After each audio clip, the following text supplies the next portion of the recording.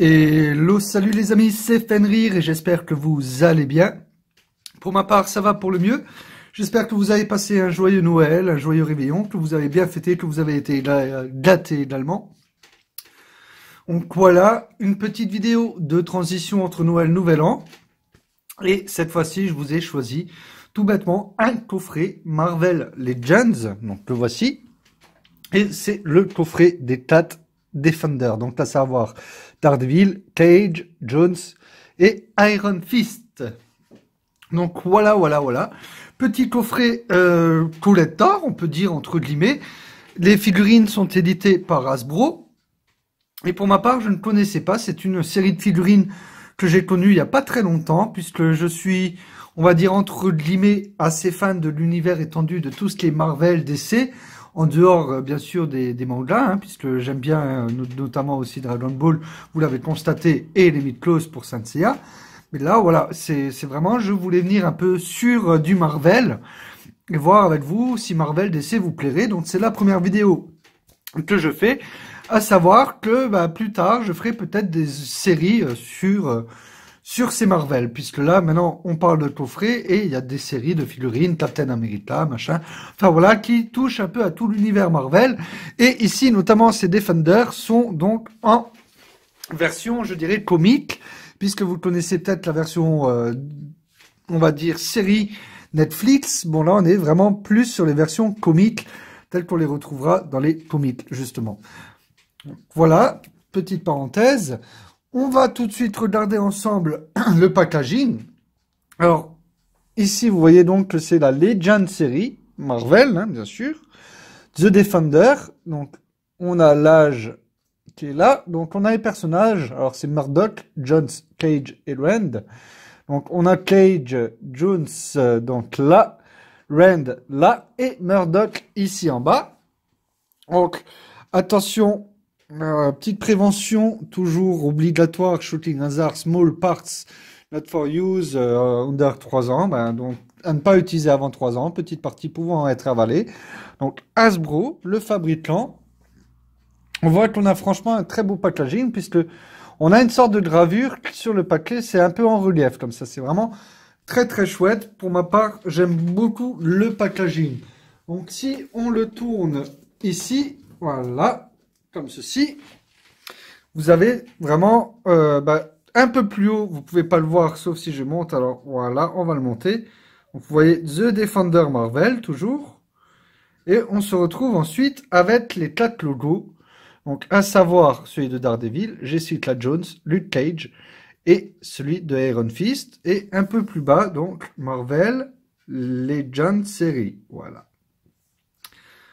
Pour ce qui est du packaging de côté, on va donc passer au packaging de vue de derrière. Et ici, donc, on voit tous les personnages euh, version figurine. Donc, en fait, les personnages contenus dans ce petit coffret collector. Donc, à savoir, on redit Jessica Jones, Daredevil, Luke Cage, Iron Fist. Donc là, toujours sur la Marvel Legends série. Vous voyez, avec un petit décor à l'arrière. Je ne sais pas s'il est contenu dans la boîte ou pas. En attendant, c'est vraiment très joli. Les figurines ont l'air plutôt assez bien réalisées. Pour ma part, je ne sais pas. On verra très ça plus tard.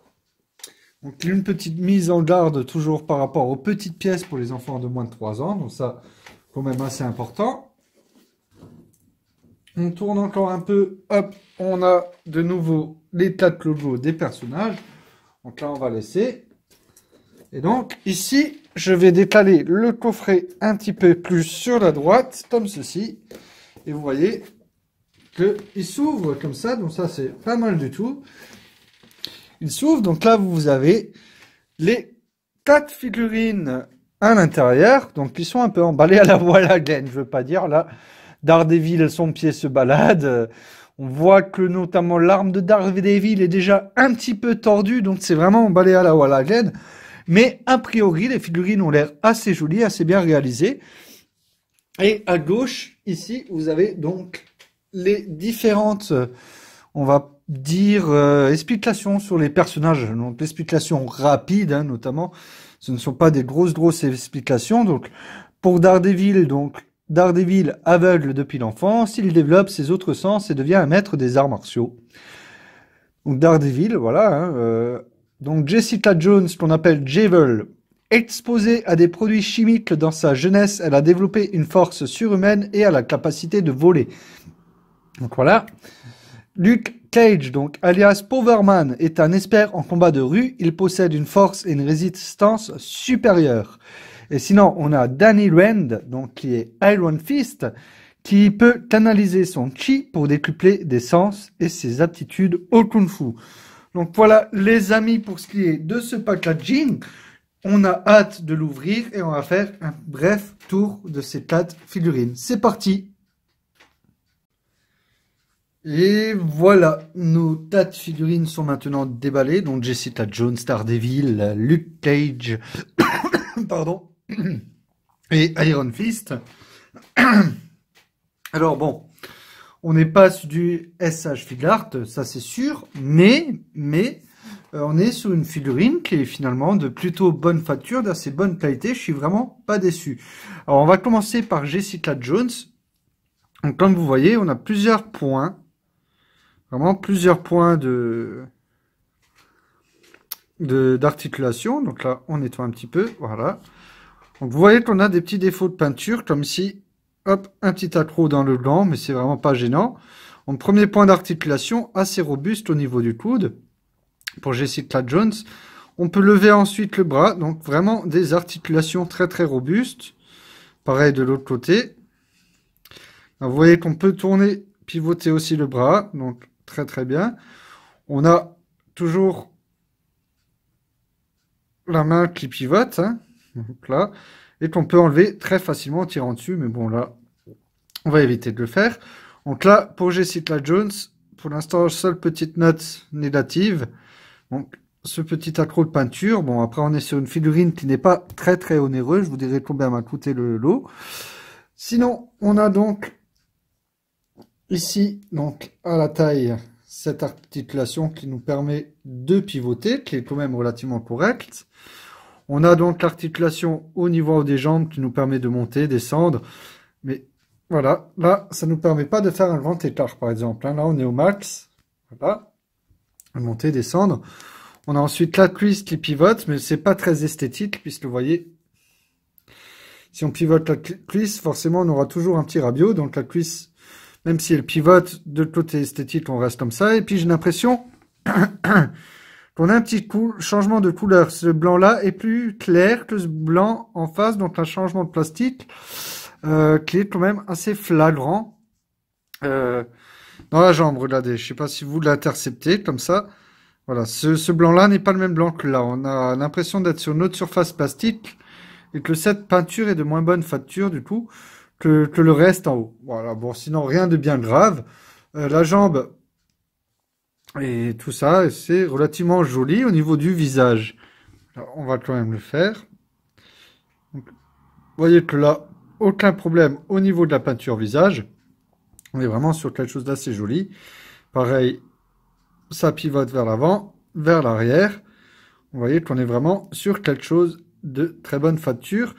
Les mèches ici que vous voyez sont plutôt très bien reproduites. À savoir que si vous possédez d'autres figurines Marvel, ben on peut enlever la tête et les interchanger. Donc ça, c'est assez sympa. Donc voilà un petit peu ce qui se fait pour la Jessica Jones qu'on va venir poser à nouveau ici. Alors dès qu'elle tiendra debout, juste que je trouve l'équilibre, excusez-moi. Voilà, on va s'attaquer ensuite à Daredevil. Donc Daredevil, comme vous voyez, vous avez déjà l'arme. Alors ici, la figurine est toujours pareille. Donc vous voyez qu'au niveau des articulations, on est sur quelque chose d'assez bien au final. Hein. Alors ce que j'aime beaucoup, c'est le visage. Le visage est déjà relativement bien reproduit, sachant qu'on est sur un visage de comics. Il ne faut pas aller chercher euh, quelque chose de ressemblant à la série. Donc là, vous voyez les 2D de Daredevil gravés sur le costume. Si on fait le tour de la tête, c'est plutôt assez correct. On a toujours cette articulation. Alors moi, j'aime beaucoup parce que l'articulation, au niveau du cou, même quand on lève, est quand même relativement jolie. C'est pas une articulation qui est bâclée ou quoi que ce soit. C'est quand même relativement beau. Donc, pas d'accro de peinture au premier abord. On descend un petit peu sur les bras. Donc là, vous voyez toujours cette articulation qui nous permet de monter, de pivoter. Donc là, vous entendez, écoutez, vous voyez que l'articulation fait du bruit. On est sur quelque chose de très rigide, hein, voilà, qui ne qui ne permettra pas de bouger. Donc cette articulation très rigide. On a une double articulation au niveau du coude, euh, contrairement, vous voyez, ici, c'est un peu euh, une double articulation, une double articulation qui va nous permettre de descendre, monter. Et là, pareil. Donc, contrairement à notre copine Jessica Jones, Daredevil a une articulation de plus. Donc, l'autre bras, on est pareil au même sur les articulations. Donc là, vous voyez donc toujours cette articulation du poignet qui nous permet pas mal de rotation. Toujours très robuste, il tient bien en place. Donc là, comme vous voyez, on a l'arme de Daredevil, bon, qui est malheureusement un peu pliée. C'est du caoutchouc très souple, hein, c'est vraiment du caoutchouc, donc c'est rien de, dur. Et là, on peut, euh, vous voyez, l'incorporer à l'autre. Ou alors, s'en servir pour le mettre dans la pochette. Voilà, les deux tiennent dans la pochette. Donc ça, je trouve très sympa de faire comme ça des ustensiles dont on peut se servir pour mettre sur la pochette. Euh, c'est vraiment un gros plus. Donc c'est vraiment assez sympa. Au niveau de l'articulation, donc là on a une articulation encore autre que celle de Jessica Jones, puisque vous voyez ici l'articulation se découpe partout. Là, là. Et on peut simplement pivoter vers l'avant. Donc ça nous permet de plier, mais c'est pas très esthétique au niveau du dos. Voilà, on a cette ouverture. Et voilà, c'est une façon de faire les articulations. Puis on a ce trou dans le dos qui nous permet de fermer les deux, enfin de rassembler le dos et le torse. Donc forcément, si on regarde de derrière, ça me fait penser un peu au G.I. où on pouvait incorporer un sac. Donc voilà, sinon, vraiment rien à dire. Pareil, au niveau des jambes, ici, on est à fond. Voilà, on est à fond. On peut bien sûr pivoter gauche-droite. Hein. Et une fois que c'est bloqué, vous voyez, euh, c'est quand même relativement solide. Donc là, on peut vraiment lui faire un 360. Hein, pas aucun problème. Donc là, pareil, pour les cuisses, euh, cette fameuse articulation. Donc là, vous voyez qu'on peut pas monter et descendre euh, la pochette, quoique si, j'ai l'impression qu'on peut la monter et descendre. Il va, il mieux falloir la laisser sur la cuisse. Donc là, vous voyez, on peut la bouger. Hein. Si on veut bien jouer avec, on peut forcément la descendre. Moi, je pense que c'est fait pour être adapté à la cuisse. Il va mieux falloir la laisser comme ça. En tout cas, c'est très bien fichu. Ah, donc, articulation, en plus de Jessica Jones, celle de la cheville, qui est un peu comme la cuisse. Et donc, double articulation au niveau du genou, donc qui nous permet de monter comme ça, et ensuite de plier le genou. Double articulation, donc très très bien vu. Donc la Daredevil, euh, je n'ai pas vu de gros accros de peinture, pas de gros défauts. Donc ce Daredevil, pour l'instant, est part sous une note très positive. Voilà, si vous êtes fan euh, de l'univers comique de, de, de Daredevil, eh bien ce Daredevil est plutôt très joli et une très belle pièce à posséder. Donc voilà, quelque chose de, je suis relativement satisfait pour l'instant de, de, Daredevil. Alors, on va essayer de trouver l'équilibre. Or, ce qui est bien, voilà, je vous ai pas dit, c'est que les pieds, donc contrairement à Jessica Jones aussi, les pieds peuvent être basculés comme ça, gauche-droite, avant-bas, gauche-droite. On permet quand même pas mal de belles poses. Voilà, pour les pieds de Daredevil. Je vais essayer de le poser à proximité de Jessica Jones et de trouver son équilibre, lui. Voilà, c'est chose faite. On va s'attaquer au gros costaud de la bande. J'ai nommé Luke Cage. Donc Luke Cage, Luke Cage. Alors voilà. Donc déjà niveau poids, il fait son petit poids. Il est quand même relativement plus gros, sachant que les autres font 16, 17, 16 cm, on va dire, pour un Daredevil et Jessica Jones. Et eh ben, le Cage, je devrais en faire entre 17 et 18. Voilà, donc c'est quand même relativement grand. Donc on voit au niveau du visage, il est quand même assez sombre, mais relativement bien reproduit par rapport au comique.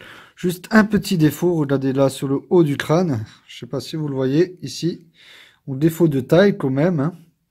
euh, sur une figurine comme ça. Bon, après, euh, exposé, ça ne se voit pas, mais je l'ai vu. Voilà, donc moi, ça va me gêner.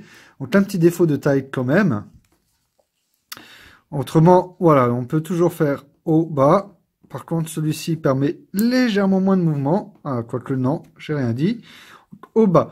Voilà, pour la figurine, tête, gauche, droite. comme toujours, on va pouvoir ici, comme à Daredevil, monter. Et on a cette double articulation au niveau du bras. Donc, au niveau de l'articulation du bras, on a quelque chose de très robuste à la Daredevil. Mais d'un petit peu, vous voyez, c'est pas toujours très esthétique. Mais, mais franchement, voilà, ça remplit son office, ça est plutôt assez joli. Donc là, on a les dents. Encore un petit défaut, un petit accro ici. Rien de bien méchant. De l'autre côté, j'essaie d'observer donc pas trop d'accro. Donc là, toujours cette articulation qui nous permet de baisser comme ça. Donc là, vous voyez qu'en regard de devant, ça ne choque pas, c'est de derrière, c'est pas toujours forcément esthétique. Voilà, puisque on a l'impression de voir un bossu. Hein. Ça fait un peu bizarre la façon dont il se baisse. Donc voilà, mais sinon, c'est franchement pas dérangeant. Toujours pareil pour les jambes. Au niveau de l'écart, on peut aller comme ça. Les cuisses, en double articulation au niveau des, des genoux. Là, pareil, les mollets, les pieds. Donc, franchement, les articulations, comme Daredevil. À savoir que, donc, petite note négative, juste pour donc, le Luke Cage. Là, c'est le petit accro-là qui me plaît pas du tout. Voilà. On a ce petit accro. Alors, je ne sais pas si c'est la peinture. Si, voilà, on peut le nettoyer. Je n'ai rien dit. C'était juste un petit accro de peinture. Donc voilà, là pareil, accro de peinture qu'on va pouvoir nettoyer. Et voilà. Donc juste ce petit accro là, sinon Luke Cage est vraiment pas mal du tout. Donc voilà, hein, vous voyez quand même par rapport à Tari, par rapport à Daredevil, il est quand même super, super imposant. Donc avec une ceinture, comme vous voyez, qu'on peut bouger. Donc là, c'est ça que j'aime bien, c'est que la ceinture n'est pas collée. Donc si vous voulez camoufler un petit peu plus, voilà, la, l'articulation, vous pouvez soulever un petit peu votre ceinture. Ça ne fait absolument rien. Voilà, donc ça camoufle un peu l'articulation. Bon, après, c'est pas une obligation. Mais c'est plutôt sympa de pouvoir voir la ceinture comme ça. Donc, c'est vraiment très très sympa. Voilà, donc pour le cage, euh, on va pouvoir peut-être ah, ramener la ceinture comme ça. Ben voilà. Donc vous voyez, j'ai remis la ceinture un peu droite. Je préfère ça. Après, je sais pas s'il faut ou pas. Je vais regarder sur la boîte tout à l'heure. Donc voilà, pour Luke Cage, qui est relativement joli aussi. Et pour moi, voilà, donc là, on va s'attaquer à ceux que je vais certainement nommer, nommer, pas nommer, Péné là, noper, voilà, tu bafouilles, m'ont fait rire. Ce qui pour moi était certainement la pièce majeure, celle qui m'a poussé à commander ce coffret j'ai nommé Iron Fist, qui est vraiment un de mes personnages Marvel préférés. Iron Fist, qui est là. Voilà, alors j'ai lu beaucoup de critiques par rapport au coffret, et puis il disait tout bêtement que le Iron Fist de ce coffret était un des plus jolis Iron Fist. Alors je voulais voir ça. Et euh, bon, ben on va voir. On va, on va l'inspecter ensemble. Et on verra bien. Alors déjà, j'ai l'impression qu'il y a un défaut de taille sur ce Iron Fist, mais on verra. Donc, point de vue visage, ce Iron Fist, effectivement, est assez joli. Donc, vous voyez qu'il aborde ce masque, hein, qu'il a déjà dans les comics. Le tatouage dorsal, donc, euh, qui fait de lui l'Iron Fist. Ici, vous voyez qu'on a donc euh, le fameux trou à l'arrière, mais ça, c'est pas bien grave. On a ça, mais on sait surtout l'articulation de l'épaule que je voulais vous montrer, puisqu'elle est déjà euh, plus libre que celle, par exemple, de Iron Man. Euh, de, pas de Iron Man, de Daredevil. Oh là là. Oh, c'est la fatigue. Donc, autre système de Daredevil. C'est vraiment le seul des tats à posséder ça. Donc, vous voyez, on peut vraiment jouer avec. Un petit peu sale. Hop. Sinon, au niveau des bras, eh ben, on retrouve, en dehors de cette articulation-là, les mêmes articulations. Mais là, voilà, c'est vraiment... Elle n'est pas assez rigide elle est trop souple, elle tourne trop. Mais après, voilà, donc euh, c'est à voir. Quoique non, c'est pas trop souple, c'est juste bien, c'est ce qu'il faut. Donc double articulation du coude qui permet vraiment là un gros gros angle. Donc au niveau de l'articulation, ici, ils sont vraiment allés très loin. Pareil pour l'autre bras. Et là, vous voyez qu'on a des résidus de plastique qui sont un petit peu disgracieux. Regardez, hein un petit peu disgracieux, mais rien de, mortel. Voilà, voilà. Donc, si on, si on le met comme ça en arrière, franchement, il est fin. Et il est fait vraiment Euh, il est vraiment très joli. Maintenant, euh, c'est toujours cette articulation-là qui est pas très disgracieuse. Vous voyez ici, alors, là, voilà, là où j'ai mon pouce, il y a un tout léger écart, comme si la pièce n'était pas assez serrée. C'est quelque peu pas, enfin, quand on n'a pas l'œil dessus, on ne le voit pas quand on le sait. C'est forcément gênant. Donc on va descendre sur les jambes, puisque les articulations sont toujours les mêmes. Donc là, hein, je vous présente quand même la figurine. Là, donc au niveau de l'articulation des jambes, bah, toujours pareil, on ne peut pas monter bien haut. Ces fameuses articulations au niveau des cuisses qui sont voilà, vraiment très dures. Donc double articulation au niveau du genou, qui permet vraiment de coller. Et vraiment, euh, si, on veut lui donner une pause, si vous avez euh, quelque chose pour le faire tenir, on peut vraiment lui donner des, enfin, on peut vraiment donner des poses dynamiques de ce genre-là, que ce soit chacune des figurines. Donc voilà. Donc là, vous voyez que là, un petit accro de peinture dans l'articulation. Ici, pareil, un petit accro de peinture. Le jaune remonte trop. Alors attendez, voilà, le jaune remonte trop haut, mais c'est vraiment rien de grave. Par contre, là, je vous parlais de petits défauts dans ce Iron Fist, c'est regardez, la jambe là, elle n'est pas droite. Mais ce qui est vraiment horrible, eh ben, c'est l'autre jambe. Regardez l'autre jambe. Elle part totale en vrille. C'est-à-dire qu'elle devrait être comme ça. Elle part, et regardez, vous voyez, la pièce a été certainement pliée dans la boîte la jambe se recourbe. Donc euh, il va falloir que je travaille ça à l'eau chaude. Ça se En fait, ça se redresse tout bêtement avec euh, de l'eau bouillante. Voilà, mais vous voyez que les jambes, c'est pas très droit. Et c'est au final pas très très joli. Bon, après, selon la pose qu'on les donne, ça se verra peut-être pas forcément, mais il vaut mieux éviter de jouer avec le feu. En plus, regardez, voilà. Si, si je prends l'articulation, regardez. L'articulation est, vous voyez, si là, je vais à fond dans l'articulation, regardez la jambe, qu'est-ce que ça donne Donc, euh, il va falloir voilà, pas trop trop forcer l'articulation. Faudra rester comme ça. Donc voilà. Euh, c'est cette jambe qui, qui, me déplaît au niveau d'Iron Fist. Là, je suis un petit peu déçu au niveau d'Iron Fist parce que c'est le personnage euh, que j'attendais le plus en finalité dans, dans ce coffret. Alors, bien sûr, ça ne concerne peut-être que mon coffret. Faut pas être mauvaise langue, euh, puisque d'un coffret à l'autre, les figurines peuvent être modifiées. Il peut y avoir tel défaut sur une autre figurine. Enfin voilà, mais voilà. Euh, ce défaut-là, il va falloir que je le corrige vraiment. Donc technique euh, que j'ai trouvé, si ça peut vous aider aussi. Donc la technique est simple. Plonger la jambe dans de l'eau bouillante, la tordre, donc la faire tenir, venir droite. Et une fois la pièce droite, la mettre sous l'eau froide. Et normalement, ça ne devrait plus bouger. Donc voilà pour ce petit conseil technique sur Iron Fist, donc qui est certainement le personnage le plus souple aussi, puisque regardez, hein, euh, voilà, l'articulation ne tient pas vraiment euh, non plus comme les autres. Sinon, très beau personnage, mis à part euh, ce petit défaut. Et donc, c'est celle qui est accompagnée aussi à la Daredevil, donc de ces points de feu qu'on peut lui équiper. Donc là, il a canalisé son chi, voilà. On peut lui mettre ces deux points de feu, voilà, comme ceci. Alors, j'avais essayé d'adopter la même pose que sur la boîte, donc à savoir, on va essayer de la refaire.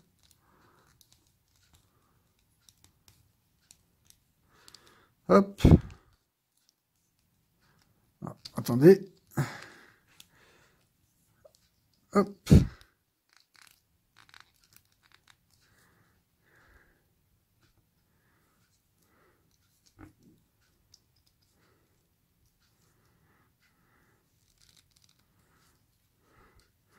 Ah, c'est le personnage, il est trop souple. Il n'est pas aussi rigide que Daredevil et les deux autres, enfin que les trois autres, mais il est vraiment trop trop souple. Et malheureusement, c'est vraiment lui le plus joli. Quoi. C'est, si on le met par rapport aux autres figurines, il, a, il est vraiment super joli. Donc voilà, on a fait le tour des quatre figurines. Alors, euh, grosso modo, faut-il craquer pour un tel pack Alors, je vais déjà vous annoncer le prix. Donc, le prix est d'environ 70 euros. Donc, à savoir qu'une figurine comme ça, seule, peut valoir 34 euros selon la figurine. Donc, moi, je dis qu'au niveau du prix, de la beauté du pack, parce que le packaging euh, fait quand même un très bel ensemble, et vu la qualité générale euh, de ces figurines, eh ben, je vous dirais oui, que si vous êtes un, fan incontesté, je dis bien incontesté, donc un vrai fan de l'univers Marvel, des comics et tout ce qui est ici, euh, jetez-vous dessus parce que vraiment, euh, ce prix-là, c'est vraiment un très bon prix. D'autant plus que, voilà, ce pack en ce moment sur Amazon est à une quarantaine d'euros. Alors bien sûr, euh, quarantaine d'euros, ça ne concerne que le prix du pack. Mais rajouter à cela, surtout, il faut y penser, rajouter à cela le prix de l'envoi et de la manutention. Donc ça, il faut absolument le savoir, ce qui peut vous faire un prix un peu plus élevé aux alentours de 80-90 euros avec l'envoi et les ports. Mais sachant que ça fait 30, 70, qu'il y en a pour 140 euros de figurine à peu près, c'est vraiment valable. C'est vraiment valable. Donc, pour ce prix-là, vraiment un très bon, très bon pack, un très bon article, vraiment quelque chose de, très très bien. Donc moi, je vous le conseille. Après, c'est vraiment selon vous et comme je vous ai dit, si vous êtes fan. Donc voilà les amis, pour cette petite vidéo, la première sur ces figurines Marvel Legends, donc série Legend, donc coffret pack The Defender. J'espère que la vidéo vous a plu. Si c'est le cas, n'hésitez pas à lâcher le petit pouce bleu. N'hésitez pas non plus à me commenter la vidéo pour savoir si vous voulez plus de ces figurines Marvel. Puisque comme je vous ai dit, j'ai l'intention de commencer une petite collection, donc je peux vous les présenter. Pour moi, ce n'est pas un souci. Ça me fera extrêmement plaisir. Si la vidéo ne vous a pas plu, n'hésitez pas non plus à disliker. Mais s'il vous plaît, quand vous mettez un dislike, ayez au moins l'aimabilité de me dire pourquoi, afin qu'on puisse travailler sur le pourquoi du comment et faire de meilleures vidéos à l'avenir. Forcément, ça fera plus plaisir et au moins on comprend pourquoi parce que prendre des dislikes dans la figure sans savoir pourquoi, ce n'est pas toujours très aimable et ça fait un petit peu lâche. Donc voilà pour ce qui est de cette vidéo les amis. En attendant, je vous souhaite à tous et à tous une nouvelle année. Bienvenue dans l'année 2018. Et franchement, fêtez bien, passez une bonne soirée. Pétez vos pétards doucement. Faites attention à ne pas perdre un doigt un tapant, forcément. non, je dis ça en rigolant, mais faut, faut, je veux pas être mauvaise langue, mais ça peut arriver. Donc faites franchement attention à vous. Et surtout, de gros bisous à vous, vraiment. Je vous souhaite une bonne année, encore une fois. C'était Fenrir. Sur ce, ciao ciao